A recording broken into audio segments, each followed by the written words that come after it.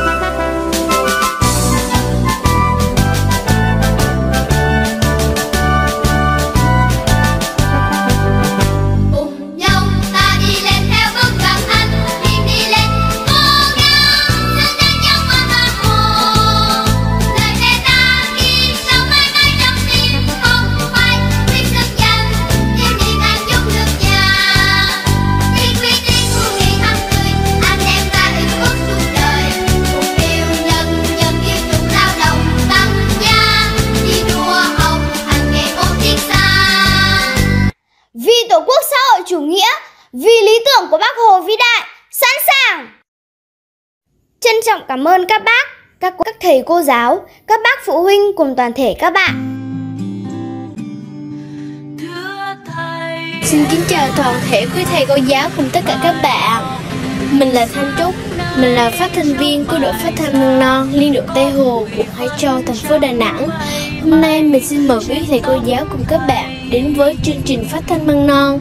Đặc biệt chào mừng ngày hiến trương nhà giáo Việt Nam 20 tháng 11 Với chủ đề Thay lời tri ân.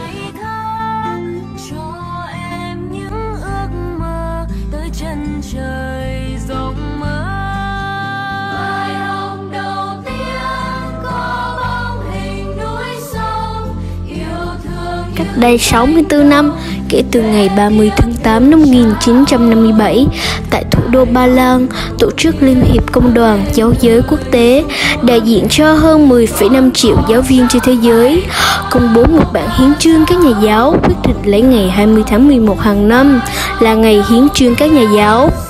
Trong nội dung bản hiến trương đã nêu rõ phương hướng và nhiệm vụ của các nhà giáo, phấn đấu cho một nền tảng giáo dục tiến bộ, dân chủ, khoa học, đấu tranh thủ tiêu các chế độ bậc đãi, coi khinh nghề dạy học, đặc biệt nêu cao nghề dạy học và những người dạy học.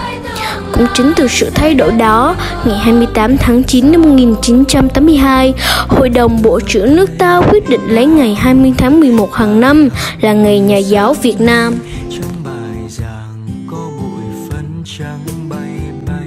Các bạn thân mến, từ ngày xưa ông cha ta đã có câu truyền thống tôn sư trọng đạo.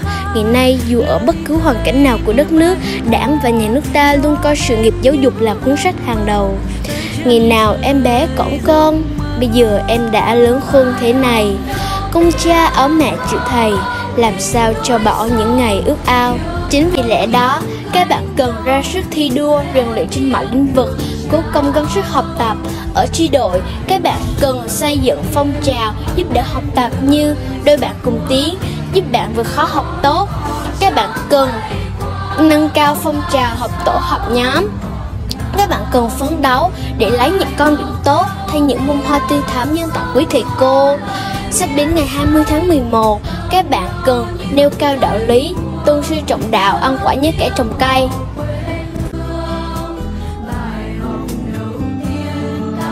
Học sinh trường tiểu học Tây Hồ chúng em sẽ là những người mang đến những thành tích, những tình cảm tốt đẹp nhất dân tặng thầy cô nhân ngày 20 tháng 11. Các bạn ạ, à, dẫu biết rằng những cố gắng của chúng ta không thể đền đáp hết công ơn giáo dục mà thầy cô đã dành cho, song tin tưởng rằng với những cố gắng, những thành quả mà mỗi cá nhân, mỗi tri đội và đã đang làm ra sức phấn đấu, phần nào làm đẹp thêm, tô thắm thêm ý nghĩa ngày 20 tháng 11. Cuối cùng, xin chúc các bạn học tốt, xin chúc thầy cô nhiều sức khỏe và hoàn thành mọi nhiệm vụ của giáo dục. Hàng ngày dạy chúng em từng nét chữ, nét người. Dù mai này có đi xa chăng nữa, cũng không quên được công ơn của thầy cô dạy bảo. Chương trình phát thanh măng non của Liên đội Tây Hồ đến đây là kết thúc rồi. Để khép lại chương trình ngày hôm nay, xin mời quý thầy cô giáo cùng các bạn hãy lắng nghe ca khúc Thương lắm thầy cô ơi của bạn Đông Nguyên đến từ lớp 5 trên 6 trình bày. Xin mời quý thầy cô và các bạn lắng nghe.